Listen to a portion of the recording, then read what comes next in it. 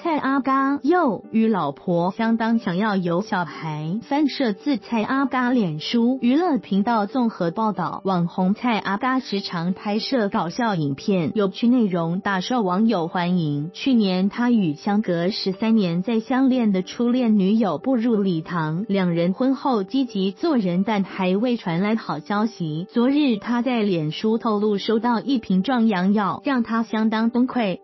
蔡阿嘎收到壮阳药，翻摄自蔡阿嘎脸书。之前嘎嫂曾透露，蔡阿嘎做检查的结果，精虫浓度只有三十八，笑说只好继续享受两人世界了。昨日蔡阿嘎在脸书表示，收到家里寄来的包裹，打开一看，竟是丹龙丸，药效是补肾壮阳，增加精虫活动力，让他崩溃大喊：“X 妖脸，我才三十出头岁而已耶，还不至于要吃这个吧？”更在留言处搞笑说：“难道全世界都知道蔡阿嘎精虫浓度三十八了吗？”还有眼尖的网友发现药瓶上写着每次十五粒，早晚各一次，惊呼每天竟然要吃三十粒，吃药就饱了啊！蔡阿嘎看到壮阳药崩溃，翻摄自蔡阿嘎脸书。